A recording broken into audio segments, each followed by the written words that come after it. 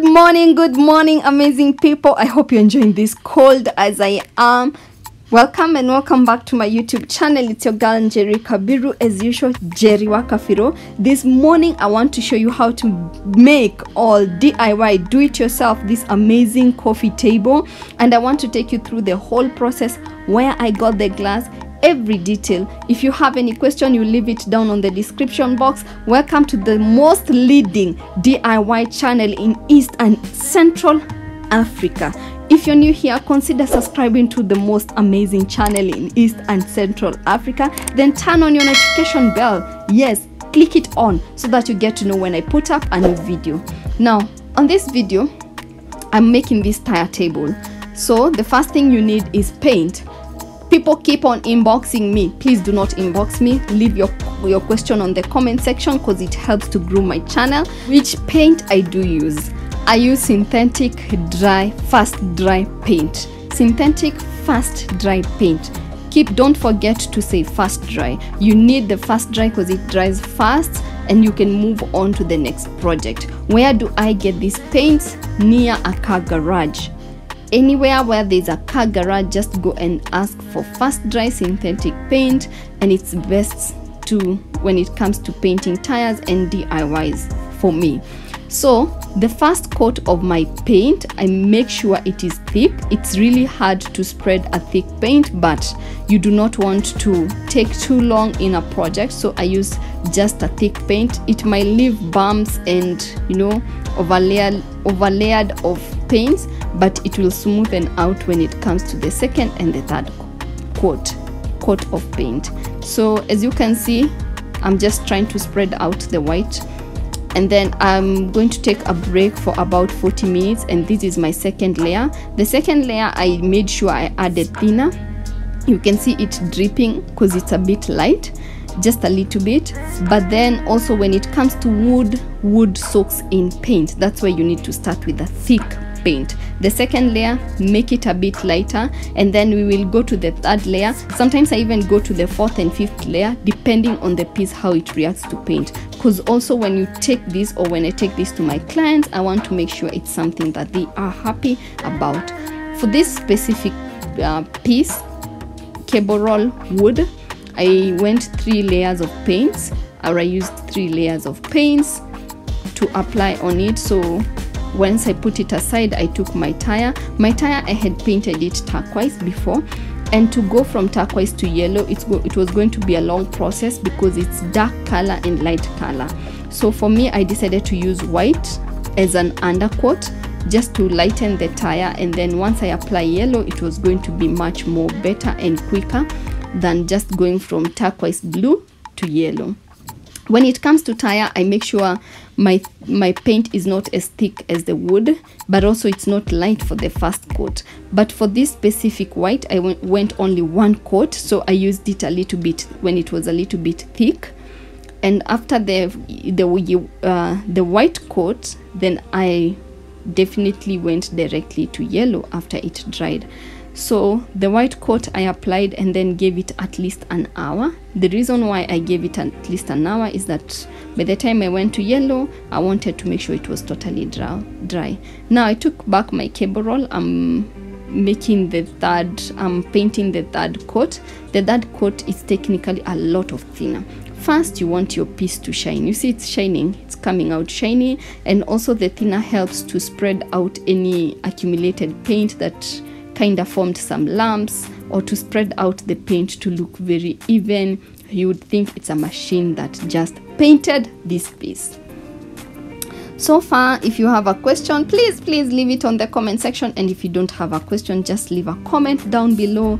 Um, share this video with a friend of a friend and another friend.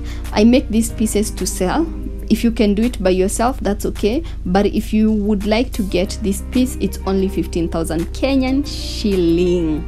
Yes kenyan shilling. You give a down payment i do your work and during the delivery or by the time you pick it up you can finish the other part. So i'm going now into the yellow. The yellow it was easy because i had already painted the white. The yellow i went two layers.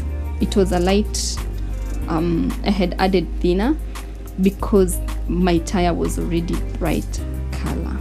And for those who would like to do something with yellow by the way it takes a lot of paint because it's a very tricky color. It's actually more tricky than white.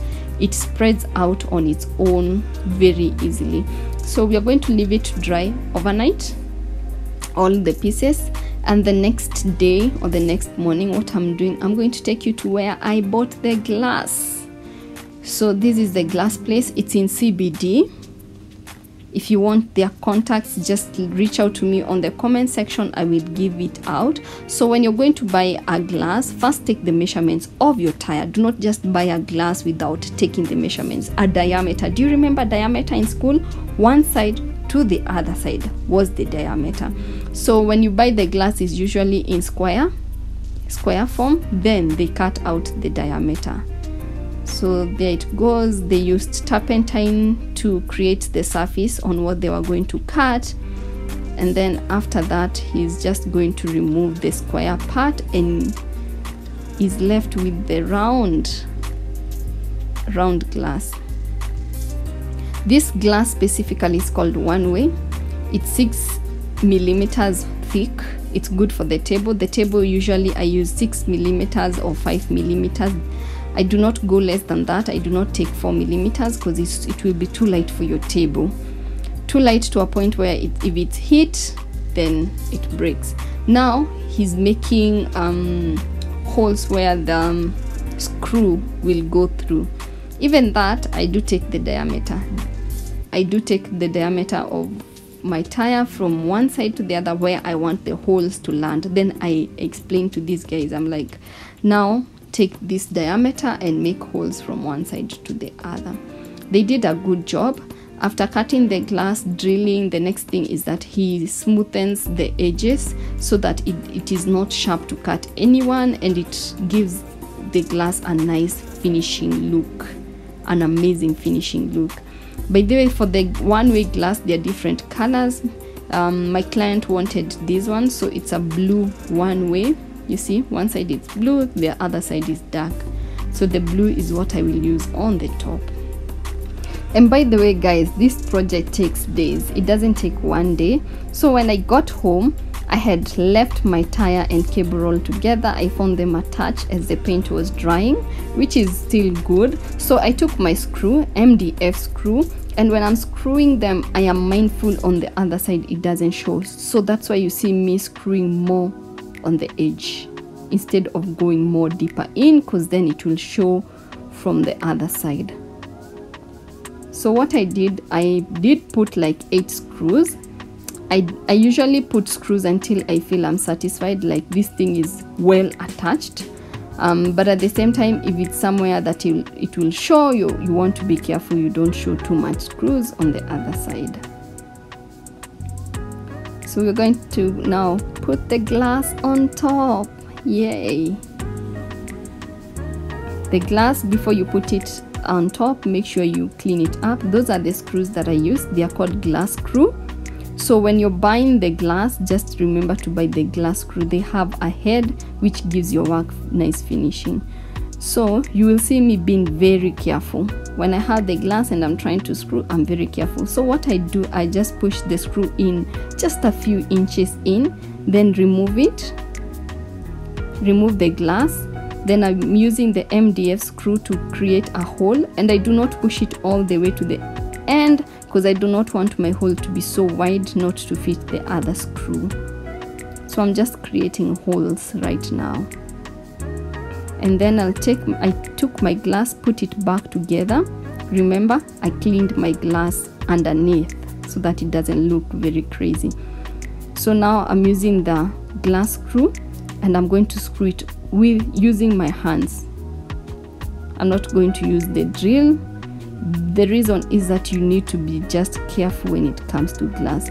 Even now I'm putting my finger fingers underneath just to protect it. So I usually push it at the same time instead of putting one screw and then uh, going to the other side just in case the other side is not aligned. So I usually do it halfway halfway.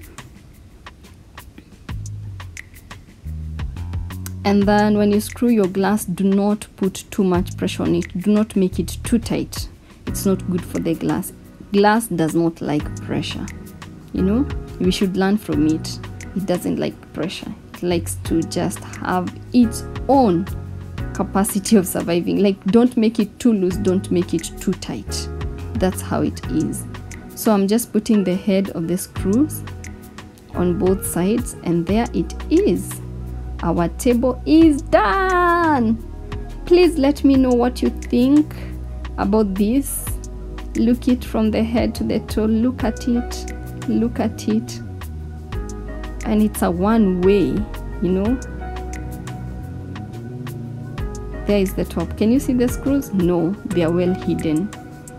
So i am done with this project for now. I'm just placing the glass. In case you want to know how i'm going to decorate this bottling for my client watch out for the next video. I'm going to show you every process. There are the yarns i'm using the every tool that i'm using. So stay tuned for the next video. I hope you really enjoyed. Give this video a thumbs up. Don't forget to leave a comment. And until the next video i'm going to say ciao.